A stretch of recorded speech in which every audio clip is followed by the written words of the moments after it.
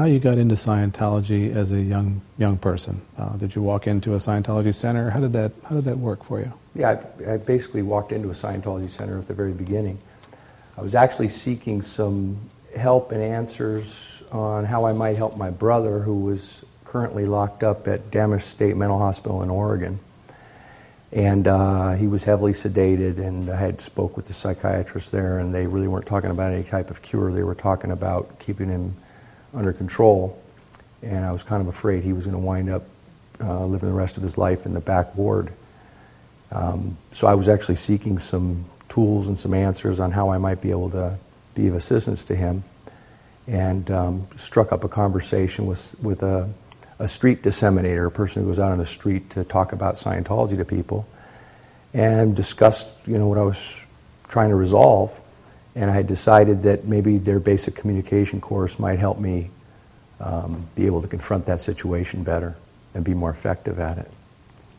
And w- this, the idea in Scientology that uh, the, the Scientology being against psychotropic drugs was that and in psychiatry in general, that was resonating with you as well? I had no idea about them being against psychiatric drugs or anything like that. I, I mean, I literally went there and learned for myself what was going on. My brother was, my brother was, uh, uh, you know, very close and dear to me, and um, he had, you know, some some schizophrenic problems where he'd, you know, rapidly roller coaster and, you know, as a person, and he'd have trouble with alcohol, and he'd wind up um, getting in a lot of barroom brawls and not being subdued by the cops, he'd wind up in the in the uh, mental ward.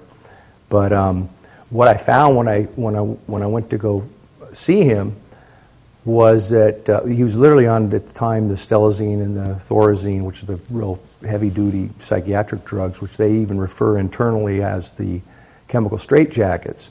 And he was literally in a catatonic state. I mean, this was my own observation. I knew nothing about what Scientology thought about mental health or anything literally step one was to try to increase my own ability to confront another person and to be able to communicate better because it was very difficult for me to communicate with him and with the administrators and everything else in that state. I then picked up Dianetics, and uh, even in Dianetics, there's not this vehement um, rejection of psychiatry and psychology. Hubbard initially was saying the only reason that they don't do any good is because they don't have the technology or the methodology or the answers um, to do anything with anybody. So that was my, my initial contact with it.